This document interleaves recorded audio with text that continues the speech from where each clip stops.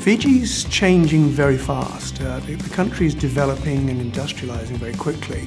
So there is a very well developed digital Fiji strategy to uh, really use the power of technology to link Fiji to the rest of the world. We've been focused on building a very advanced digital infrastructure at the university.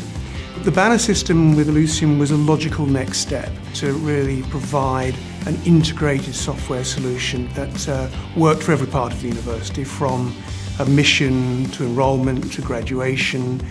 We have three main objectives for the Ellucian system.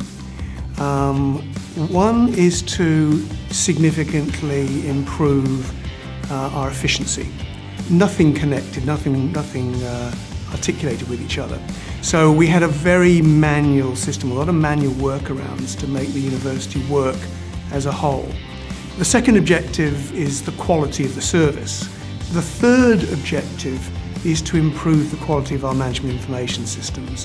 When we have these systems online and we have timely data in, in, uh, in real time, we will be able to make much, much better decisions based on good quality management information.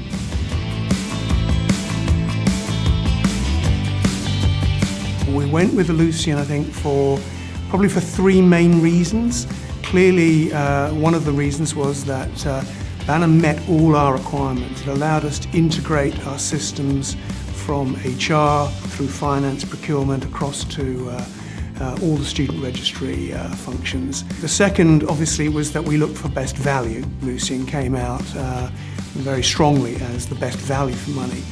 And I think the third was uh, the fact that we had confidence that with two and a half thousand universities and almost a 30 year history in, in the business, that Ellucian could hold our hand and walk us through the installation process.